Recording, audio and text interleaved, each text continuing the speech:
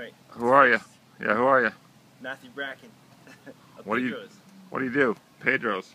Uh, do sales and marketing, but uh, this bike I know very well because when I worked at Merlin for seven years with your friend Dan Stewart, it was probably made. So the fact that uh, we got to take something that broken and make it brand new again makes me very happy.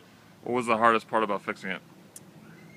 One of the cantilever posts was broken in half, sheared, so I had to use it, what's called an easy out, and take it out without damaging the threads where the cantilever post is threaded in. So that and just the time. It took about uh, two extra weeks for the fork to be manufactured. It's a one inch steel cross fork. One inch steel stuff you don't find just laying around anymore. You have to special order it. Have you ever seen a crash like that? Yeah, but not with a motorcycle. So good beef. I've seen, you know, 80 cyclists go down over a wet bridge in Delaware. One guy, back in the 80s, he lost his fingers through the metal grates, but that it was a Tour DuPont years ago. So not Uh, like that though. All right, man. Thank you. You're welcome.